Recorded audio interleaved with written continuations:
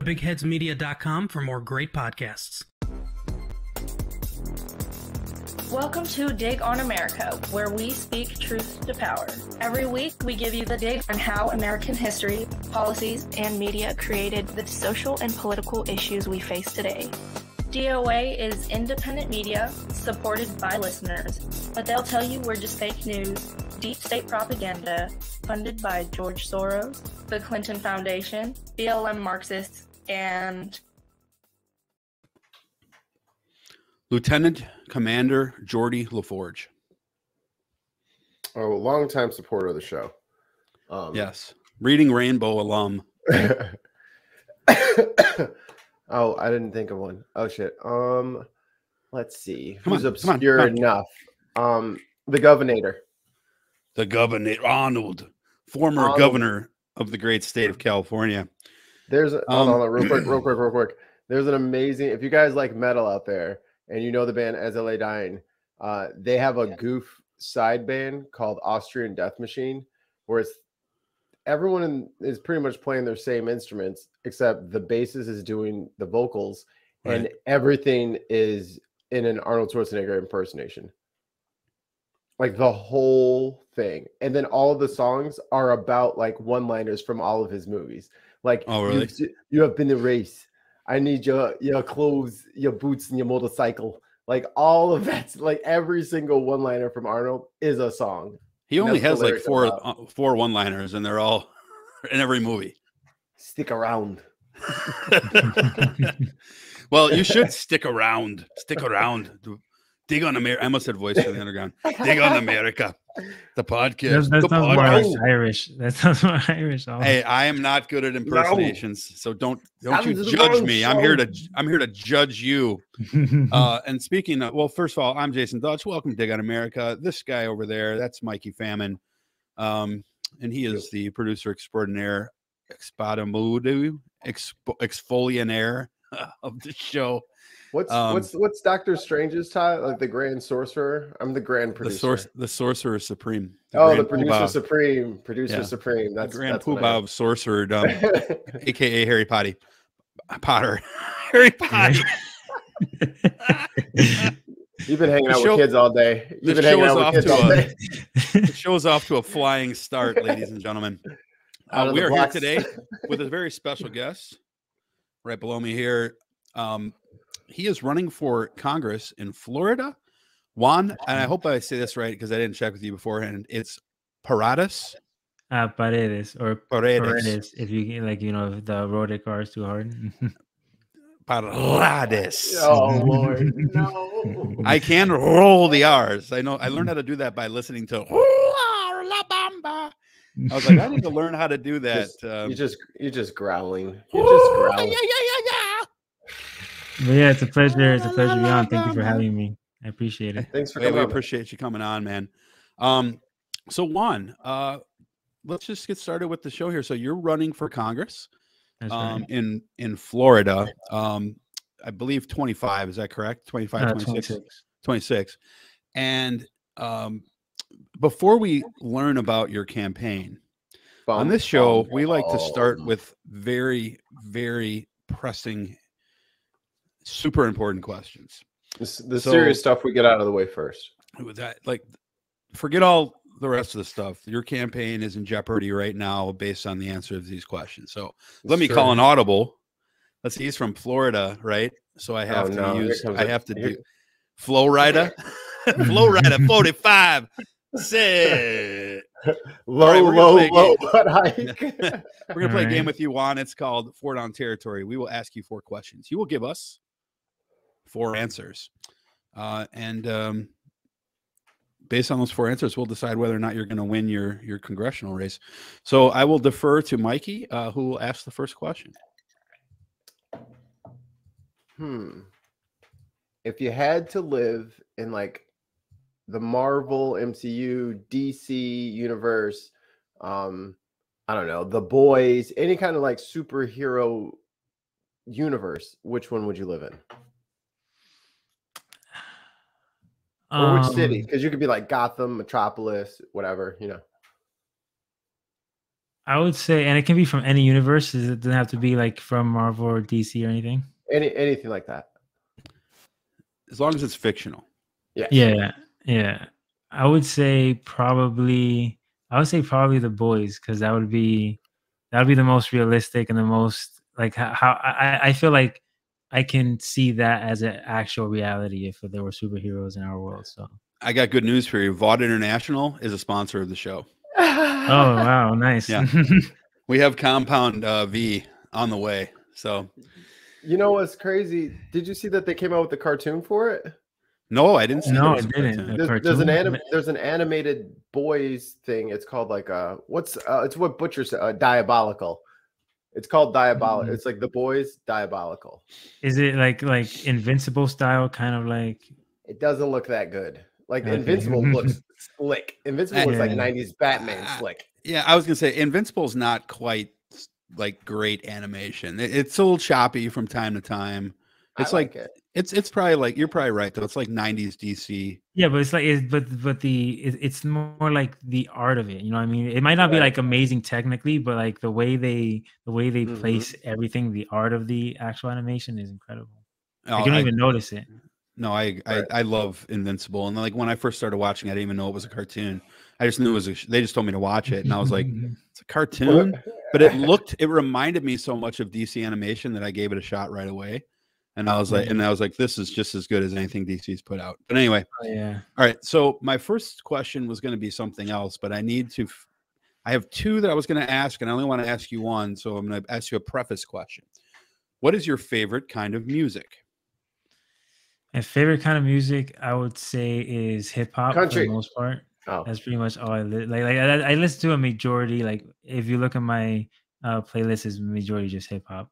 But it's it's it's more like the ones that tell a story. You know, I like I love a good story when uh when I'm listening to hip hop. So like like me. Like who? Who's on your who's who's in your playlist right now? Uh, hold on, my phone was dying. Let me grab it.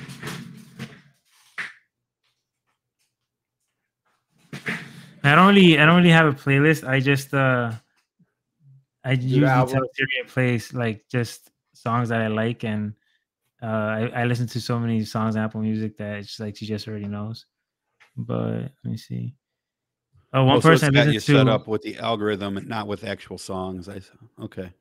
Yeah, yeah, exactly. Uh, but w- one thing, uh, one thing I listen to a lot is Joyner Lucas. He's like the top for me right now. Um, He's good. I- He's good. um, He's solid choice. yeah, and oh, Mar- Marlon Craft. I really love his. He has like a lot of political music, and he does a really good job at like explaining it in, Right. in like perfect rhymes. I love it. Pop Smoke. Uh, I mean, he's just he- I, little- I, I, I little got into him recently. I got into him recently, and I didn't know he was he, he you know he died He just uh, died. I started listening to, and I and I was and I was super upset because you know, it was really good. His uh last. His last Is it uh, bad that I don't know any of those guys? nah, it's not bad. Yeah. It's Okay. bad. But now you gotta- got now you got a lot of cool new treasures to go explore. Yeah, that's the right answer. Um, I I'm very biased to the '90s, early 2000s, late '80s hip hop. Um, which, by the way, my second question will be on. But Mikey has a question first. Uh, what's your favorite console videos, video games? What's your Uh, my favorite favorite- console? well, I, I usually play games on my PC for the most part. Oh, you're one um, of those. Yeah. PC Uh, Master Race, whatever. it, it just, I- it's just I. I don't know. I, I really love building. It's like it's like putting together like Legos, like building a computer. It's pretty cool. Um, I have to do but, that re- very soon. I mean, well, with the way the parts are now, like the price of them is going to be a while. Yeah, I don't- uh, it's another that's going back anytime soon. No, It'd probably be cheaper just to get like a pre-built now. But right. um, yeah, but because if you try to buy individual, if you try to get a graphics card, you just triple the cost of your rig. right, exactly, and and they can like the OEMs get it cheaper, so like it's, Right. it's just it sucks. Unfortunately, it sucks. pre-built, pre-built is the way to go now, which is wild. Who would have thunk? Um, but the game, the game I play the most, guaranteed, is probably Civilization. It's like a strategy. Oh, I played game. that. Yeah. Yeah, Civilization Six is the game I play the most. There's a new one. There's a new strategy game called Humankind, which is also really good. Um, but the game I've been playing recently is uh um, Elden Ring. Oh, uh, have you broken anything in the house yet? no, I'm actually pretty patient. I'm almost done with the game. Nice, nice. Well, guess what? I don't get to ask my second question because Haas is here. So Big Haas is here. He's joined the show early today, which we love to see. Um, excuse me. Uh, Big Haas, four down territory. You get the last question for Juan. So What up, big homie? get in character and get in the game. What's up, big dog? Let's see your shirt. What's up, fellas? What's everybody doing? How's everybody doing today? Good man. Good. You got a Washington Commanders shirt already? He good. He good like that. I like it. I swear, I Cobra swear, he gotta Commander. do. There's got to be a dude that fucking goes around his block in like a white van with no windows. Someone's like, "Hey, yo, Haas, I got that new merch, dog. I got that new shit.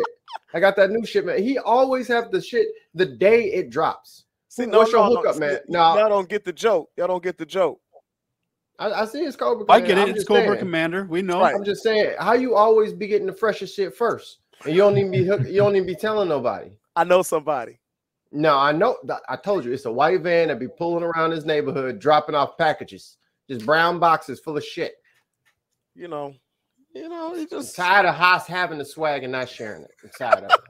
hey, you know how It's it gone on. is. Too, it's gone on too long. All right, Washing, Juan. you should your shirt should have said washing washing rear commando. What? Instead of Anyway, wah wah wah. And it's a dad joke. Screw you. Waka Ask the waka waka. Five. it, it, it goes well with the pooter joke that happened last time. oh god. So, uh, I, I, I all right, Juan. Uh, are you excited about the new Kenobi trailer that just came out today for the Obi Wan Kenobi show? Uh, unfortunately, you're gonna crucify me, but I haven't seen the trailer. Oh, I thought you, do you like Star Wars? I do like Star Wars, but okay, I the thing is, No, that's But the thing that is, bad. like, I haven't seen the trailer yet either. yeah, the thing is the you know the Star Wars I like is actually uh, not even from like the movies. Like the, my favorite the Star Legends? Wars story is like Knights of the Old Republic, the game. Oh, okay. Like that's a, That is a was good my game. favorite. That was my favorite Star Wars story. So like like it's just that the movies are just so underwhelming that I just lost hope at that point. the the You game. need a- the game. A New Hope. He said, "Oh wow, okay, I got that one." that was good. That was The, good. yeah, you redeemed gotta- yourself, Dutch. We got a question here uh, early on in the show from CDN Ali Man. He says, "For you guys, do you think Putin would have waited four more years to do what he is doing if Trump had won?" We'll address that in a second. Um, but before we address that, um, let's uh, keep Juan up here and let's. Uh, so Juan, uh, give us your elevator pitch, man. Why are you running for Congress? Tell us a little bit about what your platform is. Yeah, so um you know, I actually got a lot better talking about myself recently because uh, I've done this so many times. So you guys are lucky that you're getting a more refined version of me. Oh wow. We got the polished one. Well, we Yeah. ordered the updated version, so yeah, I'm glad to see that we got. it. So Yeah. Yeah.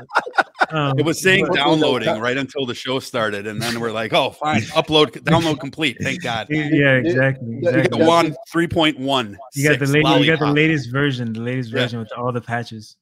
So, Yeah. guys, if you guys didn't know this, guys listening, uh, make sure you hit the little eye that's right above the guest's head, and that'll let you know if the update is available. You got to hit the little little dot. um, but uh, so essentially, you know, I grew up most of my life in uh, in deep poverty. You know, like the actual classification for the Census Bureau, which is fifty percent or below the poverty line. Uh, you know, at the time, like my my mom was a single parent. She had four kids. I was making somewhere like around like twelve, maybe less, or, or yeah, less than twelve a year um a little 12k a year and it, it's mostly because if she's a single parent she has one of two choices either uh work a lot and then not have enough time to spend with your kids and raise them or spend time with your kids and raise them and not have enough time to work a lot and unfortunately our society doesn't really have the infrastructure in place to accommodate people that are not really in a position to be stable by themselves. They don't have any kind of social welfare benefits. The United States is actually very much a backwater if you look at like its social programs compared to other developed nations. And you know, for a long time, of course, because I didn't understand the the structural forces that uh, that that allowed the environment for the uh, poverty that I was that I was experiencing. You know, at the time, it was these when you live in the United States, it has a it has a kind of propensity to make you believe that if you're poor, it's because like it's a moral failure, like a moral character problem. That You if did something wrong. yeah, exactly. That if you don't have the, if you had a better of better moral character, then you would have more money. And it's usually like if so, oh, they they use they like to use the term lazy because it's a it's a catch-all to ignore any kind of structural issues that prevent somebody from actual being an active participant in the economy. If people aren't like I I, I I personally believe that there's no such thing as a lazy person, like the type of lazy person they're trying to perpetuate. There's no there's nobody that wants to live a sedentary life. If somebody lives a sedentary life, it's because there are there are issues either physically or mentally preventing them from actually being an active part of the economy. And instead of actually creating institutions that can help uh, alleviate those problems, we just you know try to uh, uh, just swipe it away, create a cast that cast uh, chastise them, and create like a separate cast. Like you know, uh, this person's lazy, they're not committed, they're um they- they're they're a slacker, that kind of thing.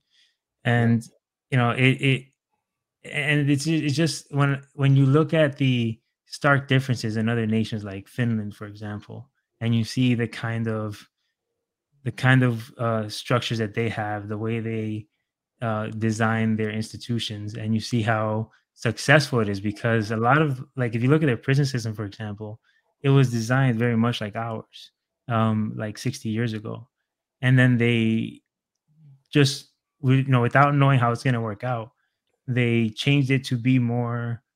I mean, a lot of people would say cozy from here because we have a punitive prison system but their prison system is designed for rehabilitation and it tries to create a normal life as much as possible because they want eventually to reincorporate them back into society and when you see the successes they bring their recidivism rate down from 70% to like or close to 70% to 20% in like 40 years it's you know like you see the you see the results and uh you know it, it just looks like an entirely different world and so um I don't really see anybody running for Congress that is trying to fix the the not instead of focusing on the symptoms of the problems, they don't try to fix the core issue. Nobody even talks about the core issues. So instead of like hoping for somebody to come and fix it, you know, like some kind of magnanimous benefactor to come and fix all our problems, I figured I might as well just try to do it myself. We'll just wait for Homelander to show up. He'll fix everything. Yeah, he's very magnanimous um, He'll and- help and- us. and benevolent at the, of course. What's the worst Um, that can happen? Well, I appreciate that, and and actually, it's funny that you say what you said because yesterday, unbeknownst to me, you were going to say that, but yesterday I sent out a tweet, and basically it just said we we need to stop using, and I'm sure you'll. Well, I'd like to see if you agree with this. We need to stop using the term successful. Um, I'm sorry. We need we need to stop using the term hard work uh, as a proxy for the word success, right? Like, so when someone is successful, we basically, you know, like, oh, well, they must be, they must have worked hard. There, there is no correlation. There, no, there's no, there, there's no absolute correlation between working hard and being successful. Nor does everyone who is successful have necessarily have, worked hard, right? You parents could be rich, and therefore you you become rich, right? There are people who work super fucking hard their whole lives, but never achieve success, right? So you know, like single mothers very frequently, like like you, talked about your own mom, fall into that group very very often. You know, they work one or two jobs, and you know they what what do you want? People will well, you know, get a better job. Really, I hadn't thought of that. You know, mm-hmm. thank you. It, it just assumes people are stupid. So we really need to change that. You know, and I think that like with a statement in the chat that you know definitely there are lazy people, but we and of course that's true. Of course there's lazy people. I think the problem is though is that we look at where someone is in their life and then we make that determination of whether or not that person had been lazy or had not been lazy without really any evidence outside of just what we saw that moment, right? And that's negative that, that's a negative thing about this country. Yeah, I mean there's a lot of really lazy people that inherited a shit ton of money. So does that make them successful because they got yeah. a ton of money? Yeah, right. and, and also like and and like what do we what would you consider lazy? Because like uh, you know, Big House made a good point. Like a lot of things that you would consider lazy, there's you know uh, some of the richest people in the world exhibit a lot of those characteristics, and they're very successful. It's like I don't think you know the the, the classification of lazy is very arbitrary, and you know it, it, a lot of the times when they point to an example of somebody being lazy, there is a fundamental underlying issue to their sedentary um, uh, behavior. So yeah, I think that uh, in a humorous way, uh, in Living Color pointed that out a lot back in the day when they was, you know, oh, you only got three jobs, you lazy goat, you know, mm-hmm. and they were playing a Jamaican family that had five, six, seven jobs. So, you know, it depends on, on what the culture is too, because you know, some cultures it's hey, you know, the mom stays home and and doesn't do much, and dad works two or three jobs, and so is she lazy if he passes away and they fall on hard times because she has no experience in the work workforce at all? You know what I mean?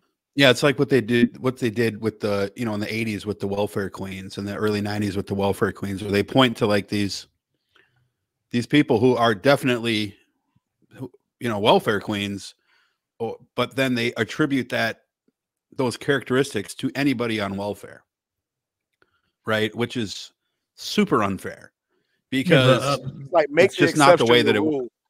you portray yes. the exception as the rule yeah but right. the thing is also the way welfare is designed because trust me like i live most of my life um, within that system I, I understand intimately how it's designed it's designed to create that kind of that kind of behavior because what it has it's it has a ceiling. So once you reach a certain amount of money it strips away all of your benefits immediately. You don't get you don't have any kind of uh, leniency to wean you off of it um, gradually. And so once that happens you don't you no longer have the income to support yourself so it knocks you back down to the level where right. you need that assistance again and it creates right. that cycle over and over.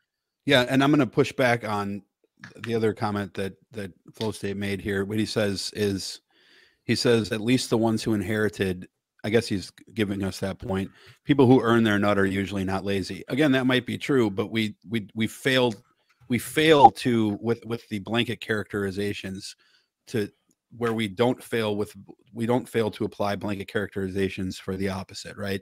And we should be fair.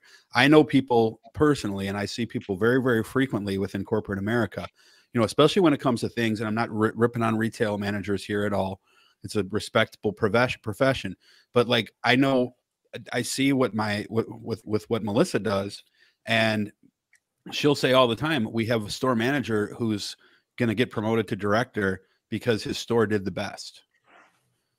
And he's the worst manager that we have. Right. You know we have like we have 18 store managers. He is like got the lowest metrics. He's the worst at developing talent you know he's the worst at customer retention, but he just happens to be in a particular area where he, there's a lot of you know this whatever i'm not going to out her where she lives where she works but you know in that particular industry there's a lot of business and a lot of corporate accounts that go there so they have the highest amount of numbers right? And the guy's a, a terrible manager right? Now that's not that doesn't necessarily mean that the guy's i don't i don't know if the guy technically works hard or not but his the reasons why he's going to be promoted are not the reasons why someone should be promoted. And the people who've actually earned the promotion just don't aren't fortunate enough to have that store you know? Right.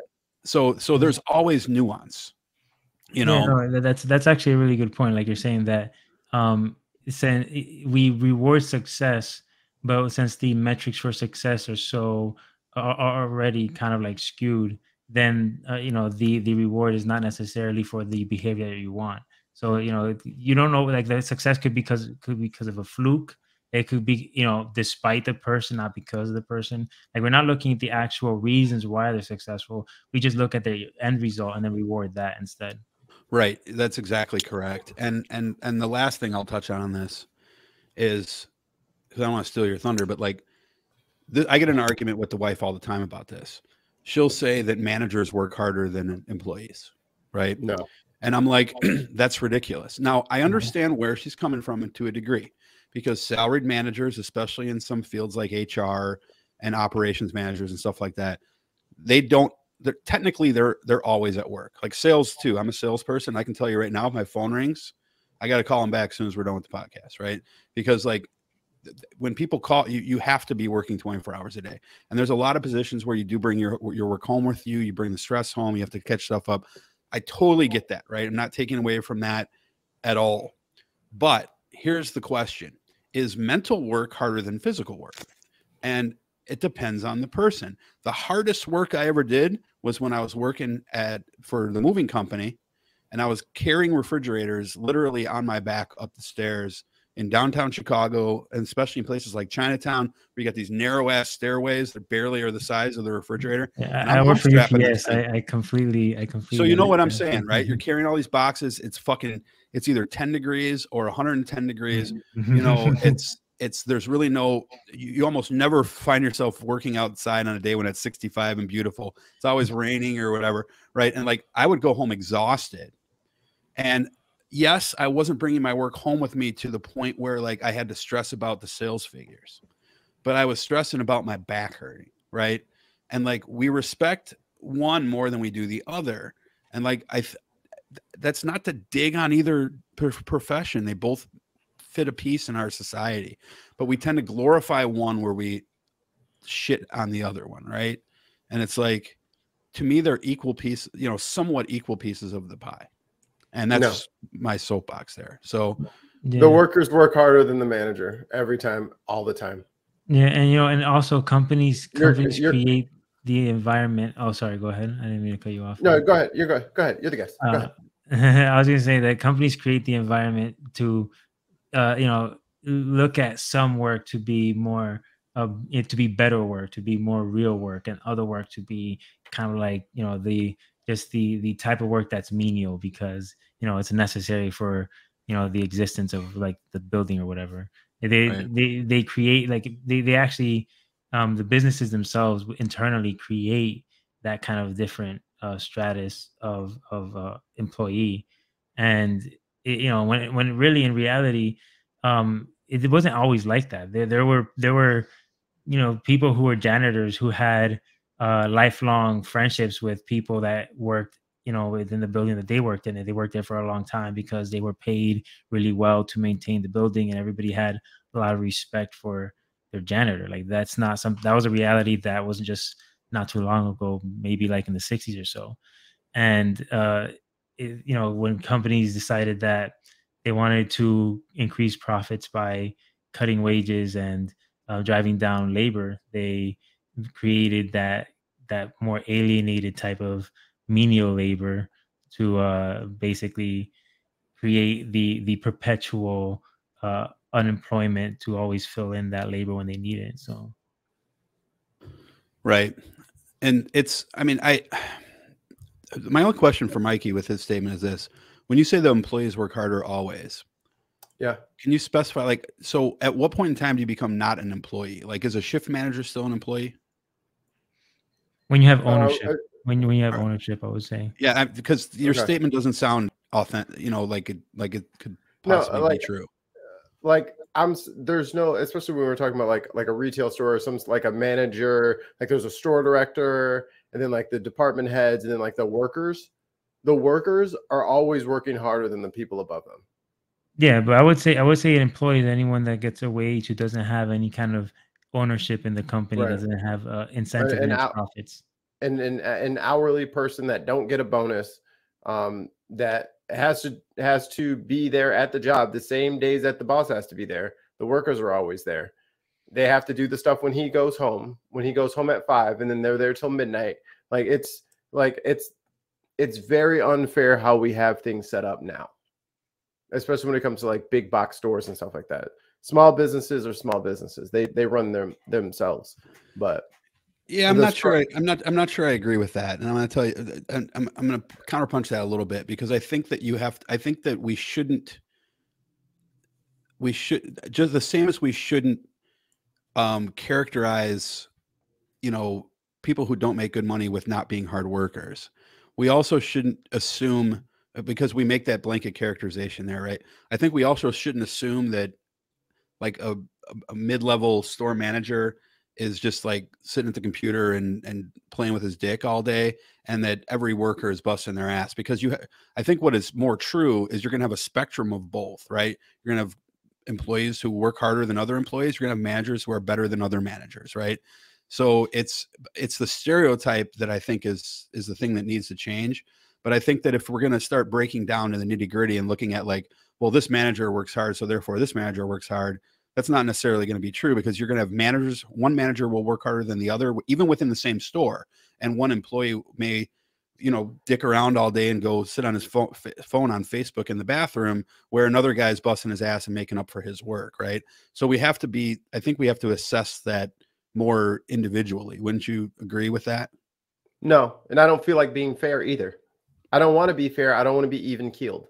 Well i would i would say the people that, uh, the Go ahead. Go ahead. One. Yeah, I, I would say that um, you know that's the kind of internal stratification that that businesses like to create. That that's the kind of like divide and conquer tactic. I would say that they create created employees to prevent um, organization. Uh, yeah, that's I, I true. Would, I, agree I, I, would say that the the real stratification shouldn't be between the managers and the employees because they're both technically wage workers. I would say it is those who have ownership, who have stake in its profits, because those are the ones that make the yeah. decision to um, push down the cost of labor and you know to create and, and create this the system where they just funnel profits back into themselves by buying back their stocks and not investing to the real economy.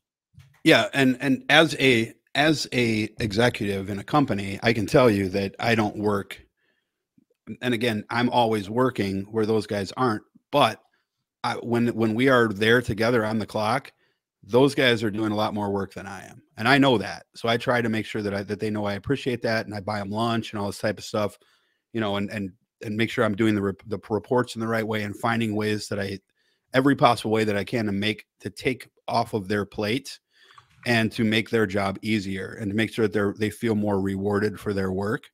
Mm-hmm. Um, but they don't get to go to the lunch meetings, right? Where we know and those you know, at least once a month we do a lunch. Once I'm sorry, once a week we do a lunch meeting.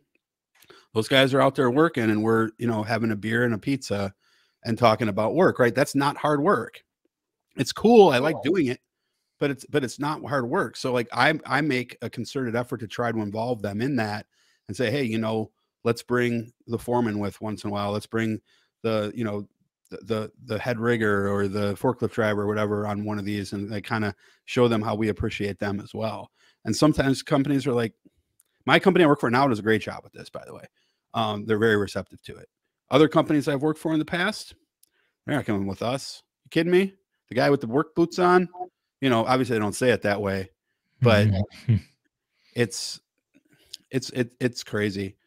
Um what what do you think is the solution? Like, what? How does your platform as a candidate address this one?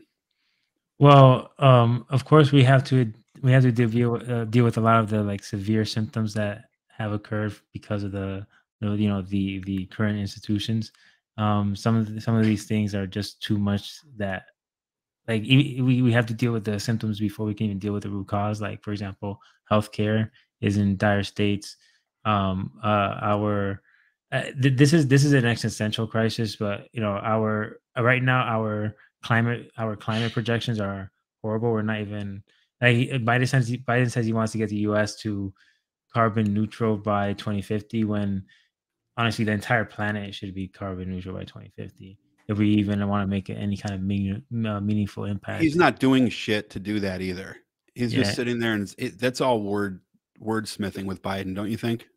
Uh, I mean, he's done a lot more, at least, um, than other presidents, to be honest. But it's nowhere near enough. It's not close. Like it, we need to have World War II production in green energy and get the entire planet by carbon neutral by 2050, or you know, we're not, or or, or we're not going to mitigate any of the worst effects of climate change in the by 2100, and it's going to be disastrous for our societies.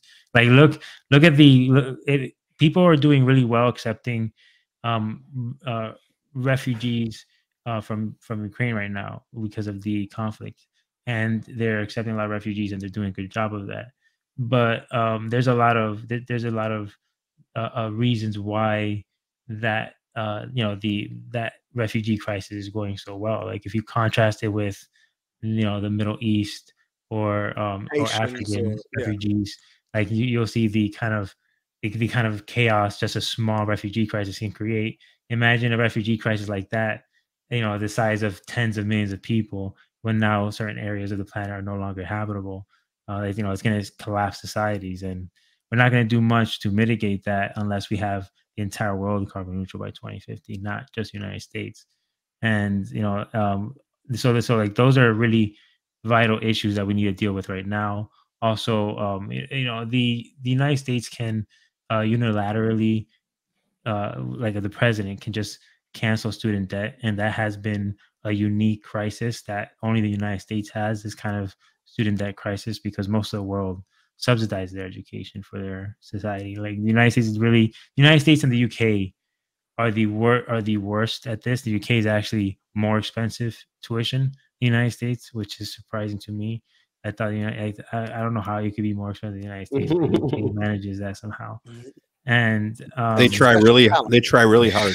I was about to say, Yeah. you got to wake up early and study all night to even to charge I know, even more money for No, no, you, you gotta wake up early to work all day to afford it. Like, uh, but um, you could pay but you know the, the the the student debt crisis in the United States, even though the UK is more expensive, the student they don't have a student debt crisis like we do. It's very unique to the United States, and Biden can just cancel it. Um, a lot of it is just interest anyway. A lot of the cost of it, so it's a lot lower than like the trillion dollars that people say it is.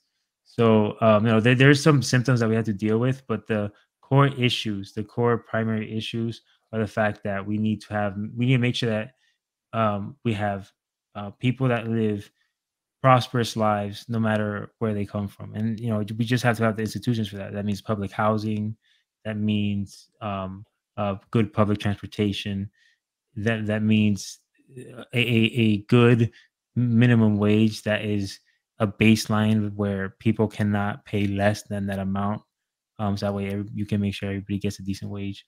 So you know there, there's certain institutions you need to create to make sure that everybody can live prosperous lives.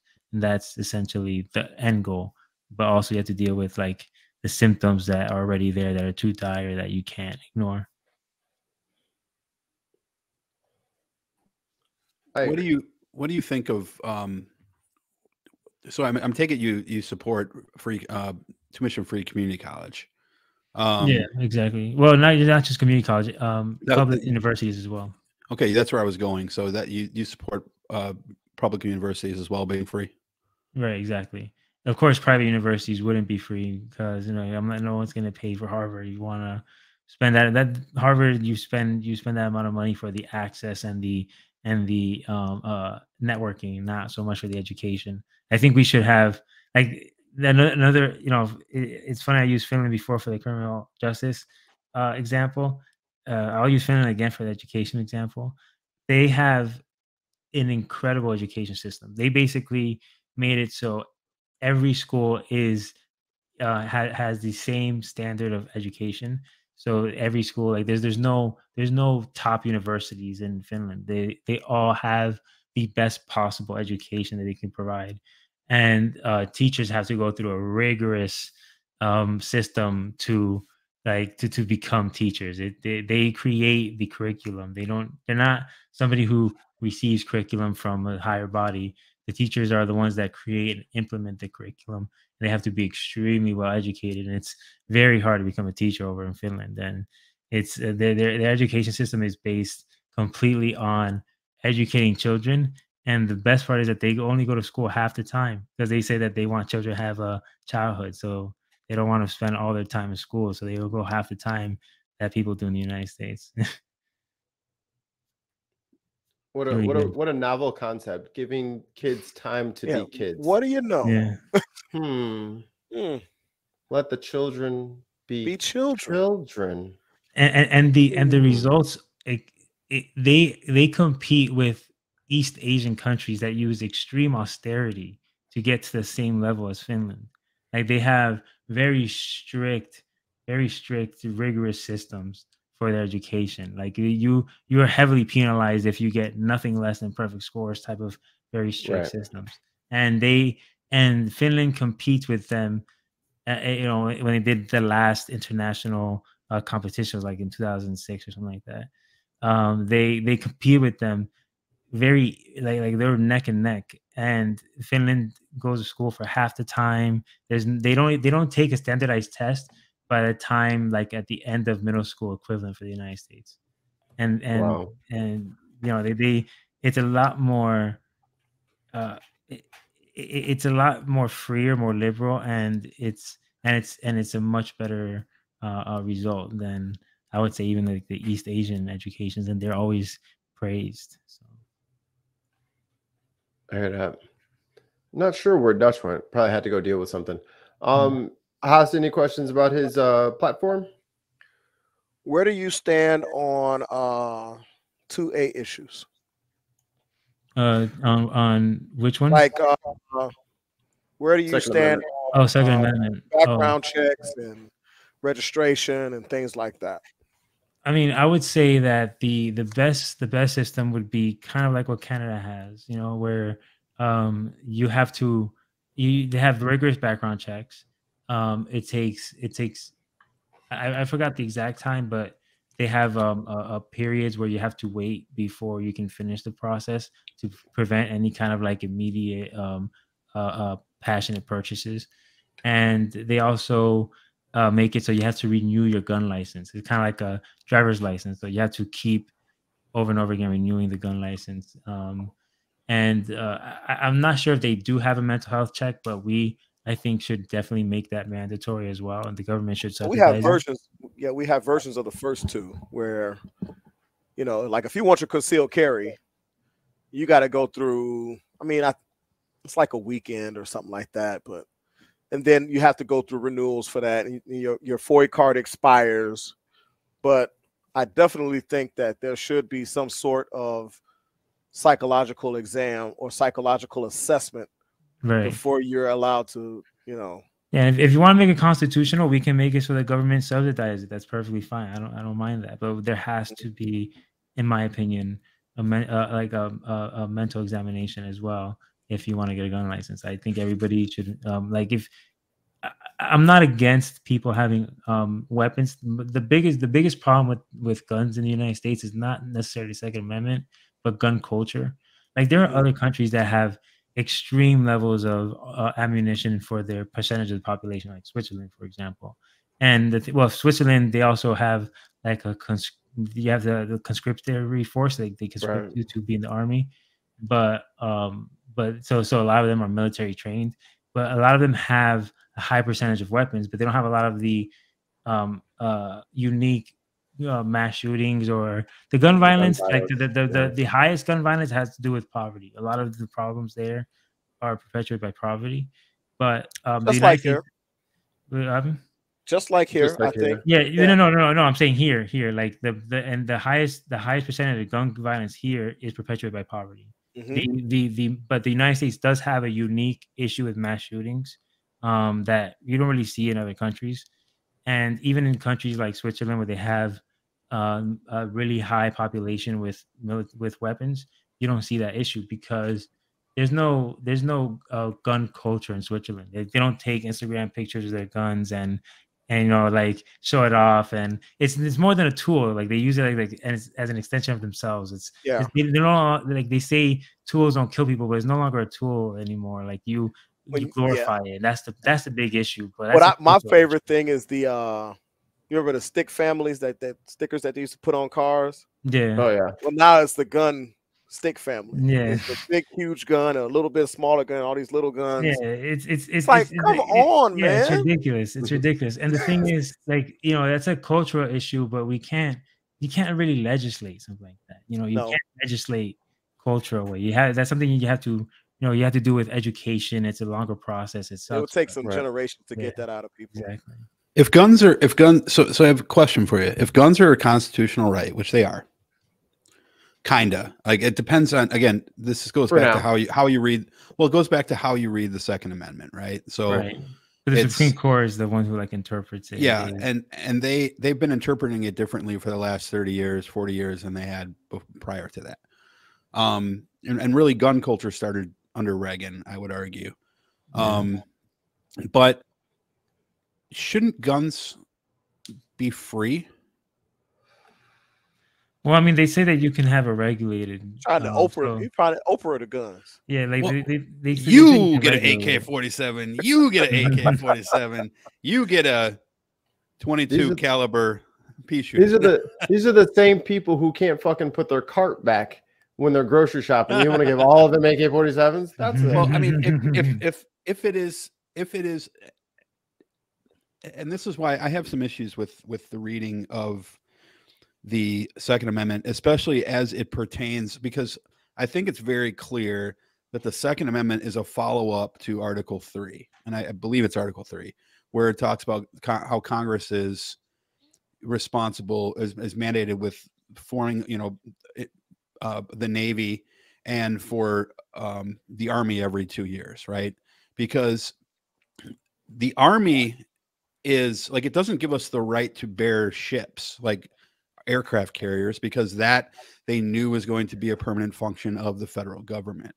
But the issue is is that the states wanted to have their own state militias, and they wanted to do to, so to protect their sovereignty because they viewed themselves differently as at the time than they do now. So I'm not going to get into that rabbit hole, Yeah, but that was a completely different time, like before the Lincoln unionization that created like the current nation state that we live in now. Well, one one one could argue that the whole Constitution was an entirely different time, and we we should maybe do like Yeah. other countries do and update our Jefferson Constitution. from said that we to should time. do it every couple, like three generations. We should like be uh, amending the constitution. Well, he said you should Yeah. change the government, but like we should amend the constitution. Like we should. And and the, the the the fact is is that the the framers of the Constitution were were split on this, right? So they didn't. A lot of them didn't trust the federal government because they had issues with King George, and a lot of them didn't, frankly, didn't trust the people. And the evidence for that is in the Electoral College, right? They they literally implemented the Electoral College because they didn't trust the people to make the right decisions.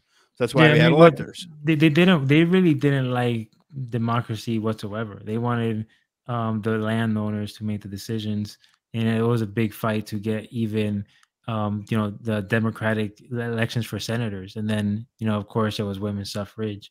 I mean, and there's still and there's still like issues with with uh, voting rights and, and democracy in this country. Like it's it started out very anti-democratic, and we've been fighting to make it more democratic. Yeah, and people that's a great point. People forget about that. Um, but as far as the Second Amendment goes, like I I'm prefacing my statement by the saying that people read the the people's interpretations of 2A are different. The one that counts is the Supreme Court. I get that, but I don't have to agree with the Supreme Court, Yeah. right? Like Republicans don't agree with the Supreme Court on Roe v. Wade, so I don't have to agree Mhm. with it, you know, on um I don't Heller, feel right? I don't have to agree with you with the Supreme Court's the Heller decision or any of the other decisions, right? I get to look at things for myself and critically think. Yeah. Um, but but I think that if if we're looking at like voting is a right, and if you want to say that guns are uh, the same right as voting, the same level of of, of right, then technically we, they, guns should be supplied by the state to anyone who wants one. You know and there really would be no and, and i don't have a problem with people having weapons. I own i own weapons. I just i don't think you need 13 ak-47s that can you know tell with- me with how many 50 AK round 47s I can have. My freedoms. Yeah. My freedoms. and, and Well, I mean, well, where's the line though? Like, I mean, do I can I Where can I buy an anti-aircraft gun and We have a point it line when it comes to Muslims in this country. We do not have a line when it comes to guns that I can put in my pantry instead of Cheerios. You understand what I'm saying? Yeah, the thing the thing is this: like the the United States is literally the most secure country on the earth. They have no external threats. We have two oceans on our on our east and our west, and uh, Canada and Mexico are not military threats. So we have no we have no military threat anywhere near our nation, and there's no nation or combination of nations that can cross the ocean and attack us. We're impervious to invasion. We don't ever have to worry about it. So the gun, so the guns you're using are for the uh are for the government, but the government is at the very moment democratic, and if for whatever reason the gov- the government stopped being democratic, there would be you you would it would not be difficult to to get guns. We have uh, we already have a lot of guns in our country. Like, Right. there's not it wouldn't be difficult to find guns if you needed a fight. Like it's not it's, it's it, Right. you, you know it- you don't have to have a gun on you 24 7 if that you know if, if if that is your concern which is not it shouldn't be since we still have democratic process Unless you're in driving a Dodge vehicle in uh, the Chicagoland area because they are the most stolen right now in Chicago. You got Yeah, a and- Durango, you're in trouble. Yeah, and the the so again, we have another comment from the chat where it says, um, "Shall not be infringed." Duh. So I think what he meant to say. Oh God, they bring that up all the so time. so so i'm going to argue with that and and i'll let i want to know what juan thinks of that too and again this comes from a gun owner i'm not anti-weapon per se right but the it doesn't just say shall not be infringed like people cherry pick it and they read the second sentence and they whine about where commas were placed you know it never mentions the word citizens americans or people at all in the second amendment it mentions the word state with a capital S. Okay. So, in order to maintain, and I'm not quoting it probably exactly here because I don't have it in front of me, but in order to maintain a, a free state, the security of a free state, the right to bear arms shall not be infringed. The state, not Joe who lives on Elm Street, is not mentioned in that. It does not mention citizens at all. Oh, I am now- part of the state. it are you? Because I'm, you know I'm that just saying what bec- because where that but that's the thing. Where in the constitution does it say that i am part of the state?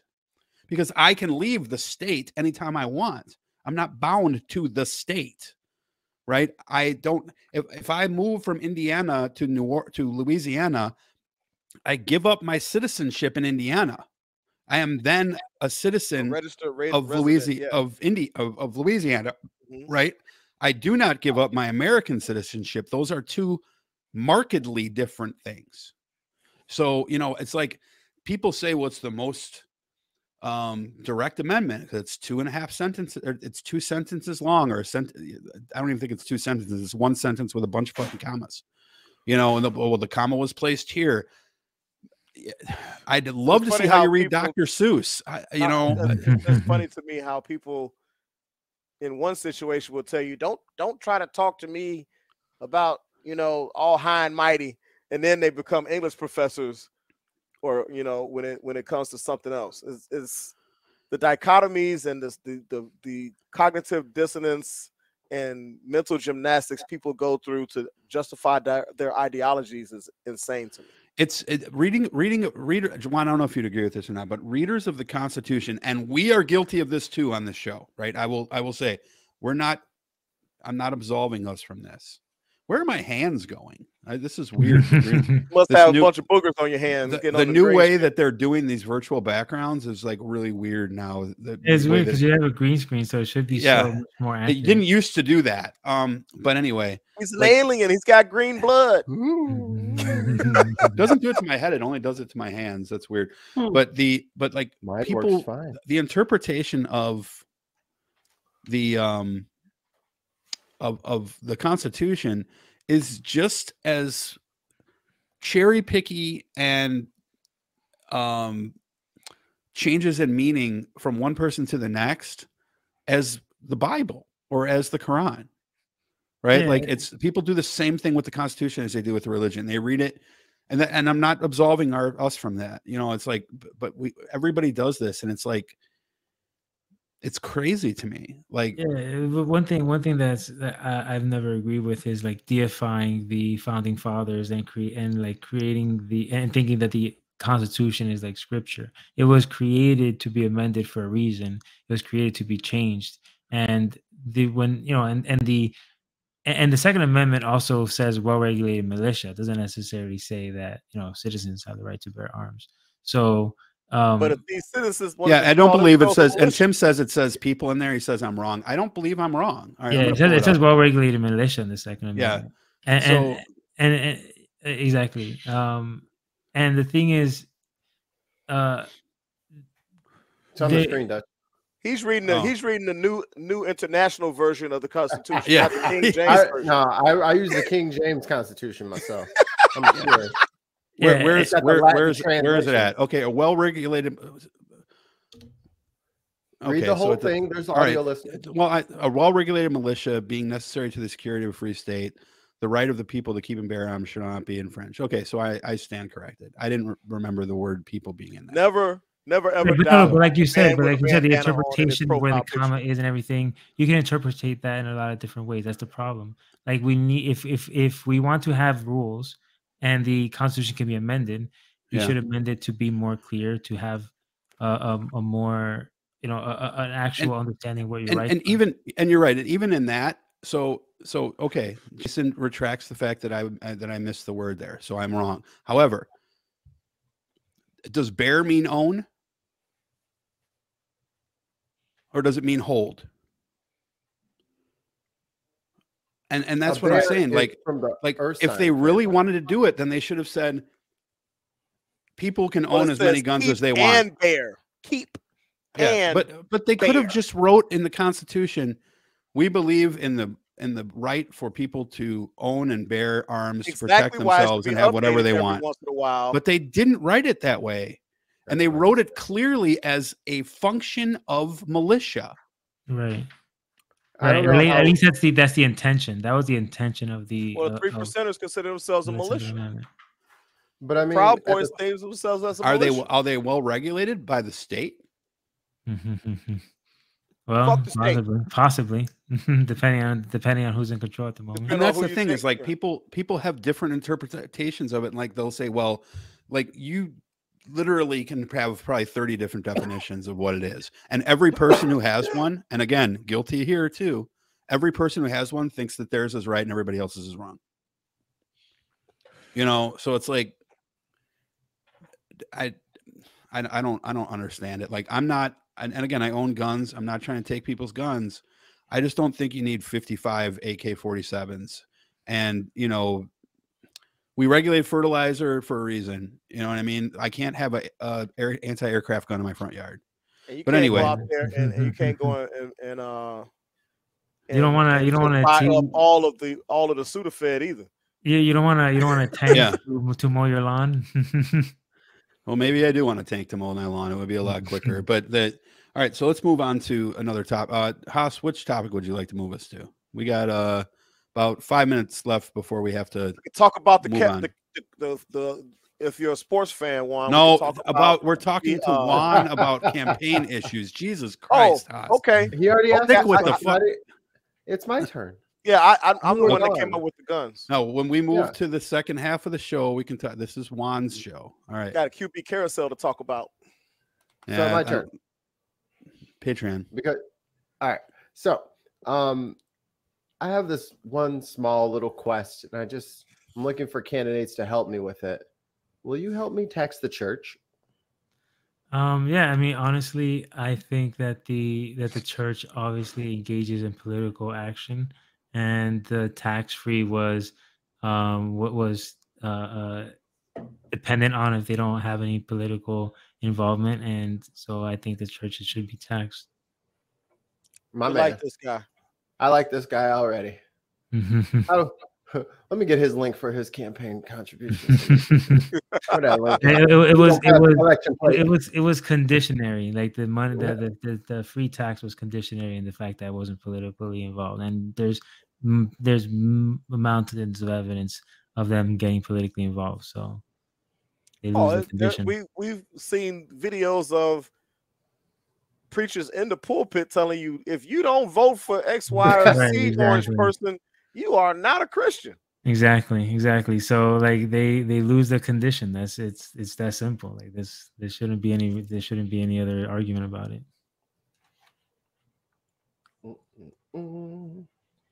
Oh, Twitch is being fucky. Well. They're saying. Um, uh, just real quick, uh, healthcare. Um, do you support a? I'm, I'm sure you support a, a, a form of universal healthcare, Medicare for all, whatever you want to call it.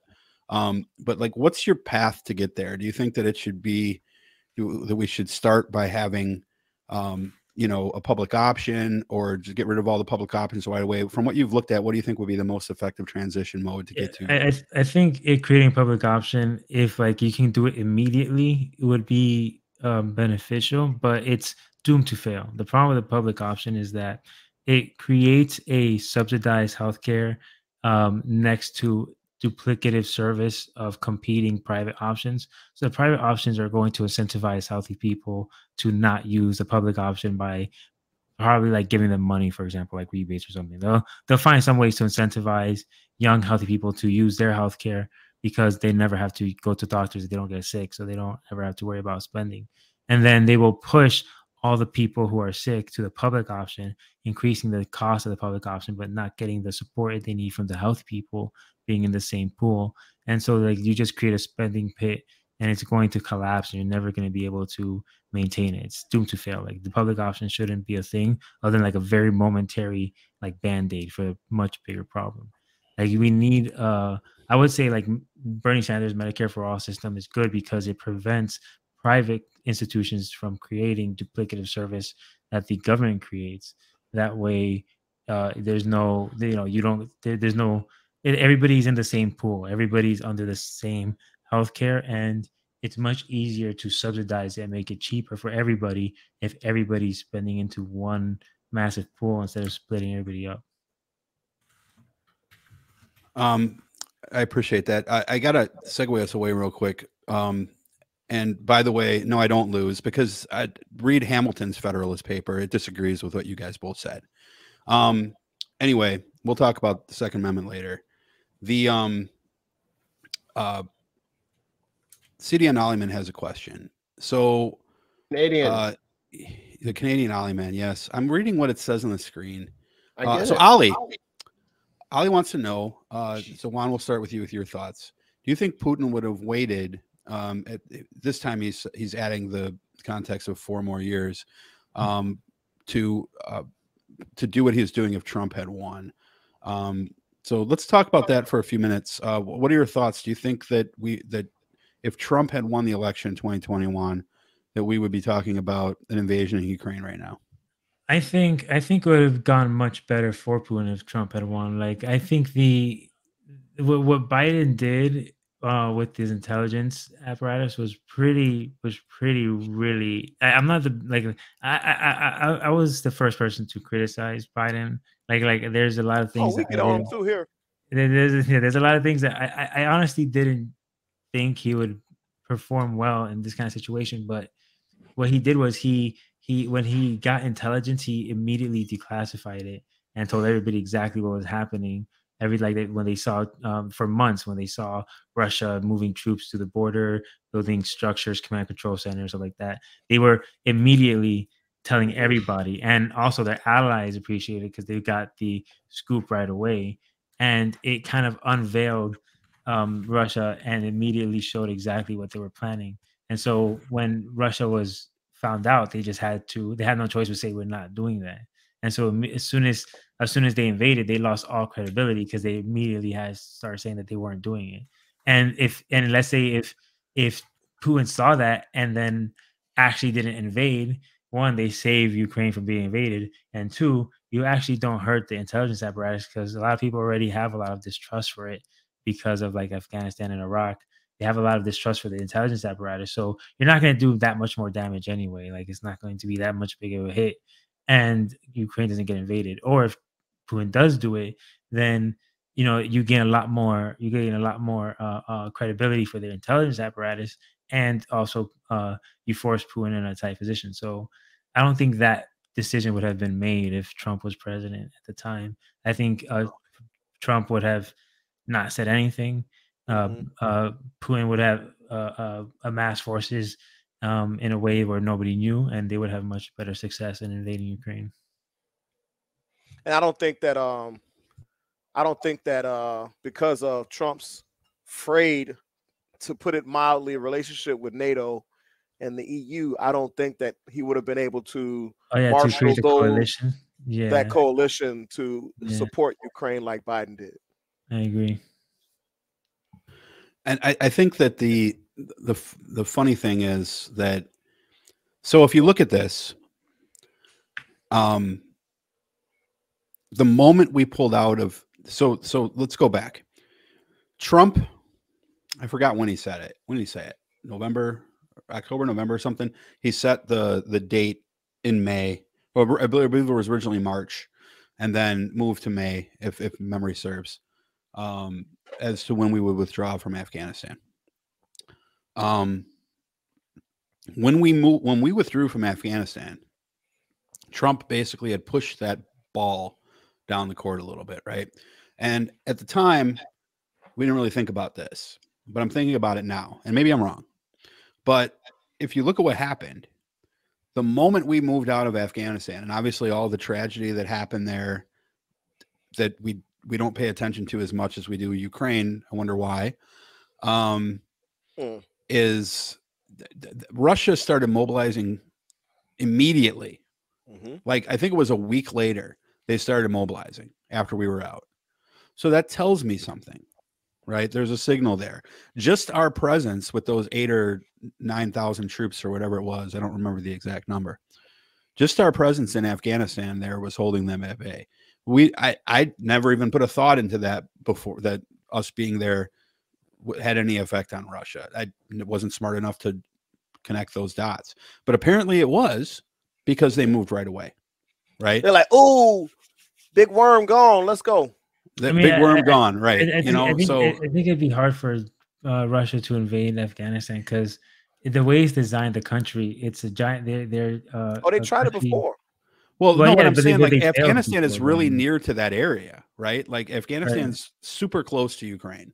I mean, it doesn't it doesn't touch it, but it's we're right in that same area, and Well, the as soon- Caspian Sea separates them. It's pretty large. Right. And as soon as we left, though, then they started mobilizing down to the border, right? So, like to me, that speaks some volumes. So it's like, and again, I, I could be looking at nothing here, and it could be a nothing burger, right? Um, it just seems odd to me the timing. And if you, I, I think you could make a an argument that Trump that that maybe this would not be happening right now if Trump was still in office, but Mm, not because of the reasons why you think. Um, not because Putin's motives would have been any different, but like he I, I think it's I think that we are probably more the focus of this than Ukraine is. I think he's clearly posturing for the United States. And I I do think that it's plausible to think that he looks at Biden as being uh, the right wing will characterize it as weak. I would characterize it as apathetical to Russian interests because Biden has never had a good relationship with Putin. That's pretty well documented. Where Trump had, you know, a sweet lovey-dovey relationship had a with Putin. uh, He had a pee-pee tape. He had the uh the small S in the Yeah. DS. I have- I mean, I, I, have video of Trump being peed on by a Russian prostitute. I know very much what's happening. there. Yeah, I mean, smells I, I'll be honest. I don't. I don't know what Putin's um, intentions are fully because if you look at if if he if his intentions like if his complaints of NATO were true, it, this action would immediately make NATO stronger. So of course, like that was probably just a smokescreen for his true intentions. Because if he if, he really cared about NATO, doing this will make NATO much worse. So. Um, I, I don't really think that was his in true intentions, or at least not his primary intention. Um, and if his intention was absorbing Ukraine, uh, like he would have to like try to install a, a public government, kind of like in Belarus, that is supportive of Putin.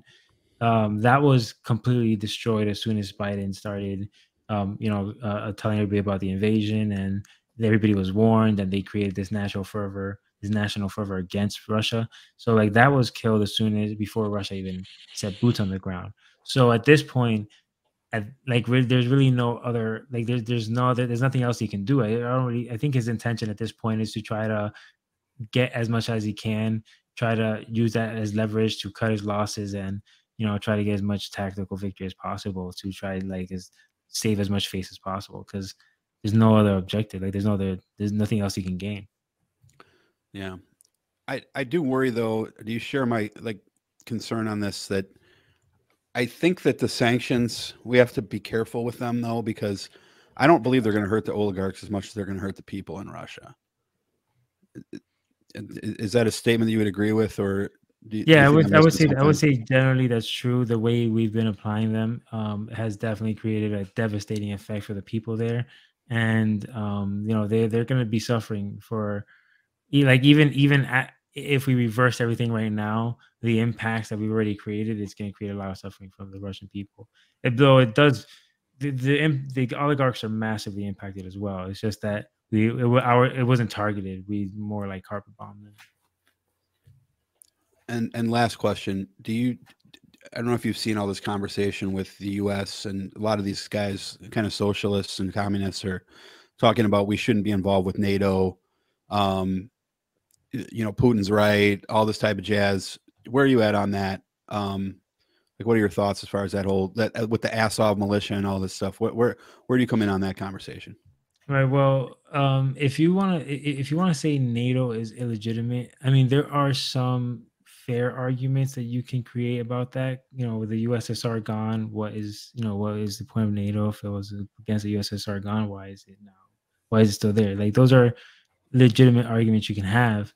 Um, but the uh, I, I, would say the the way Russia has been conducting itself even after the fall of the Soviet Union demonstrates, and if you look at Putin's speech, uh, how he considered Ukraine as property, it kind of demonstrates that you know they have they have legitimate fears of being invaded by a hostile force, and also there's the question of uh, national sovereignty if a nation wants to be part of a military alliance.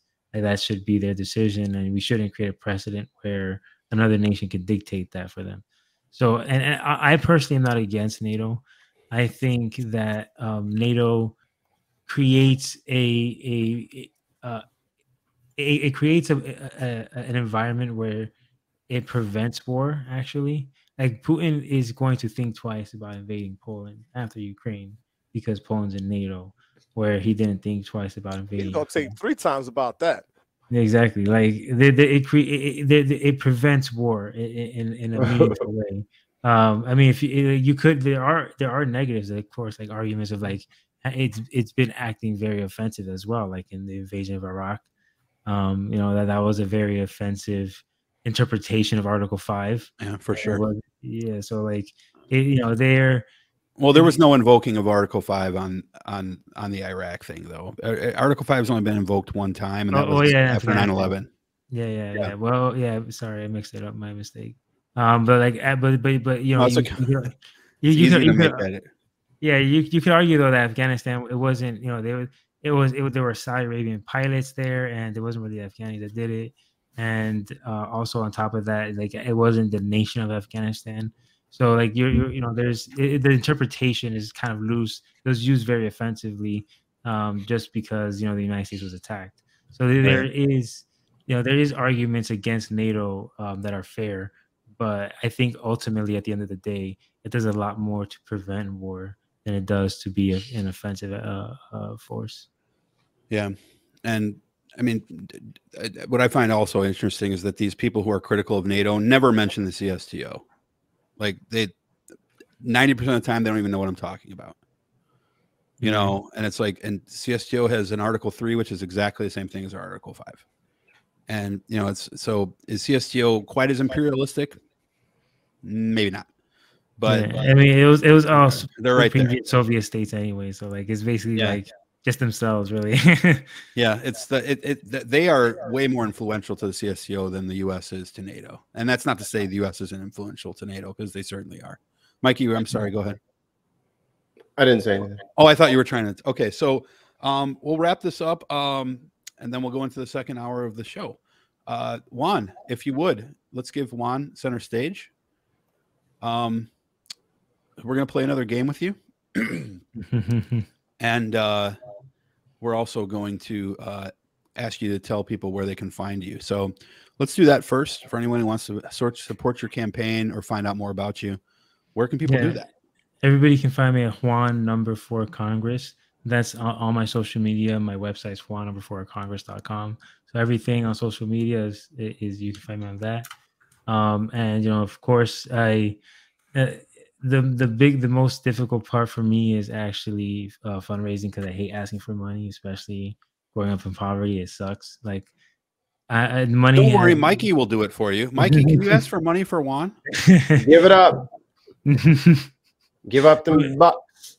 Yeah money, mo- money money is very valuable to me specifically because like i had so little of it so it's hard for me to ask people for money but of course because there's really no other way to win for congress you know if you know whatever of course whatever anybody can give up the mo- the most amount of money that's possible that they can donate then they should if they if they think that i'm a good candidate because fighting carlos Gimenez is going to be uh very difficult he used to Yeah. be the mayor of miami I'm, I'm glad you brought that up. Spend 30 seconds and tell us why you're a better candidate than Gimenez. I mean, Carlos Gimenez is the worst, is literally the embodiment of the worst type of candidate. He um, doesn't really care necessarily about um, anything else other than benefiting himself and gaining profit. He would he would support Hillary Clinton if it benefited him. He would support. And he's a Trump benefited Democrat, right? No, he's a Republican. Oh, he's a Republican. Okay. Yeah, but but like he's like but he's voted for Hillary Clinton before. Like he doesn't. It doesn't really matter. There's no really ideology to him. It's whatever whatever would benefit him most is what he does. And he has, um, for example, like uh, he right hours after the January 6th insurrection, he voted to nullify the votes of uh, of Arizona and or Pennsylvania to try to turn the election because it would benefit him. He doesn't really care about democracy. He doesn't really care about um, our, our fundamental values, and he did. And and all he cares about. Oh, he was one of those. I didn't know that. yeah, yeah. He, he all he cares okay. about is profit. That's all he really cares about. And um, you know, growing up in poverty, it let me understand the fundamental issues with our society. I eat the same type of foods everybody else eats. I sleep where they sleep. I struggle like they do. So I understand the issues they have, and I'd be much better at solving them. Have you have you gotten any assistance at all from the D Triple C? No, none at all, really. Actually, there there has been um uh one person who has found me himself and emailed me, but no institutional help whatsoever. Okay. All right. Well, let's support Juan and uh, make sure we at least voice his campaign and get the the, the message out that he's out there. Um, and in the and in the meantime, let's find out who he wants to snap away. Uh, we're gonna play another game with you. It's called Prank One, Marry One, Snap One. You've probably played a similar game to this in your life. Um, we're going to give you uh, three people, and you are going to prank call one. You're going to marry one, and you're going to snap one away like Thanos. And why do we say snap, Mikey? Uh, terms of service, we would never threaten actual or pretend violence on anybody because that would be against the rules. And we Neither love rules. we in, in, in suggest uh, anything of the Randy sort. as well. Mm-mm. We we are No. we are raging Democrats, and we love being told what to do by the system. so we will we will succumb and suck the teat of the terms of Whoa, service. whoa. with some fava Uh, beans. Um, all right, Haas. Princess Amidala. Oh, oh, he Okay, went Princess Wars. Amidala from Star Wars. All right, Mikey. Okay. Uh, I'm trying to. I got to figure out her last name. You go ahead. All right, so we're going. We're apparently going with fictional characters. You don't have to go with fictional. Do what you No, do. I'm going to stick bud. with it. It's easier that way. I'm going to Cool. go with. here. um, I got mine. I got mine. All right. You watch Juan? You watch sports at all? I don't. Damn it. Never mind. Go ahead, Dutch. Lieutenant Uhura, Star Trek. I don't know that character. You never watched the original Star Trek? Okay. No. Um, that's a first. I didn't think you'd say no to that. Oh, Uh, Zendaya. That was seven of nine. Zendaya. How about? Yeah, let's do. Okay, th- that's there's Mikey. I, I read more Are- are- books than I watch. Are you picking Zendaya from like Spider-Man: No Way Home, or just Oh no, Zendaya what's personal? what's what's what's her face uh from uh uh I almost called the show Homelander from the boys. What's Starlight? Starbright? What's her name? Starlight? Just use her from yeah, the boys. I, I Did you ever choose watch the boys? Did you watch the boys? Annie is her name in the show. Annie. Yeah, Annie. Annie from the boys. Okay, She's so we got. Annie from the boys. We got Princess Amidala, played by Natalie. Portman. Stormfront. And I will go with from the new Batman movie, Catwoman, Zoe Kravitz. Okay. All right. All right, so you got a Um, prank one, marry one, snap one, go. Um, I would say I would mm, I would marry uh Queen Amidala because she's a queen and she has probably the most advanced technology I've ever seen, and uh, you know who knows like what what she's capable of. So definitely marry Queen Amidala. Uh, I would I would prank Starlight because it seems like she already has somebody she'd rather marry already, and I and you know I'm not I'm not looking uh I'm not looking for Not trying to break up no happy home. And, and and I guess I would snap away. Just Catwoman break it up for a minute.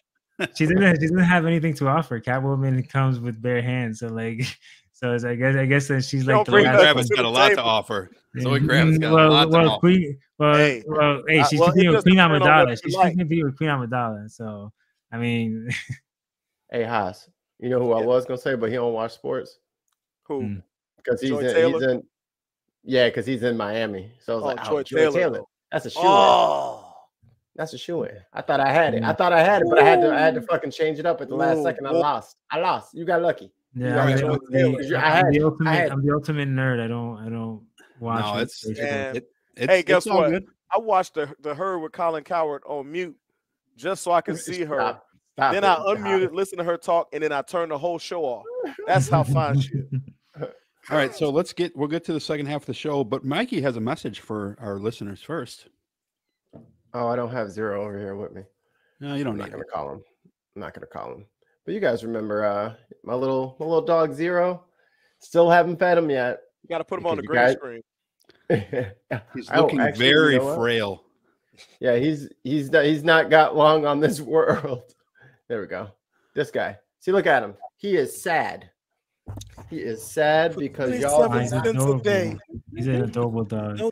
The Dig on America podcast. There we go. You can feed this beautiful little dog. You see this little this motherfucker right here?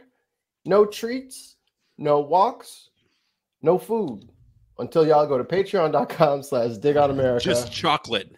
You know, that, and, Oh my I- I- God. And, grape, and grapes. you know, I, I think I think I found my Dogs new, can't have grapes.